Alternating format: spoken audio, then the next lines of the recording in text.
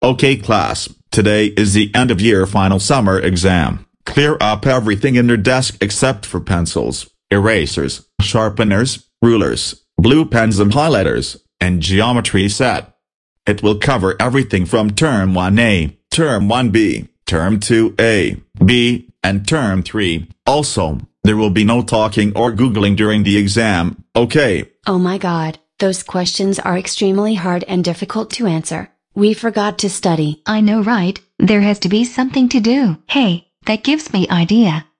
Let's use our phone to Google all the answers. Fake Doris, this is yet the best idea ever. You're a massive genius. Let's Google the answers. And just what do you think you're both doing? Um, we're just taking the exam just like everyone else. It seems like that you both were Googling the answers. Go to the principal's office right now. Both of you are getting an F minus and big fat giant zero on your final exam. Hello fake Doris and Rosie. What brings you both here? We cheated on the final exam.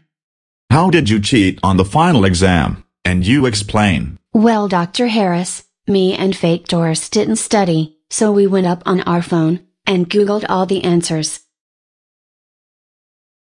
Fake Doris and Rosie, you guys are a total disgrace. Mr. Adam is automatically giving you an F, and I'm expelling you both from the school. Go home now while I call your parents. Fake Doris and Rosie, we can't believe you cheated on your final exam. You need to wise up when you're so much better than that. That's it. You both are grounded until you graduate from college and university. Go upstairs to your room right now. Wah wah wah wah.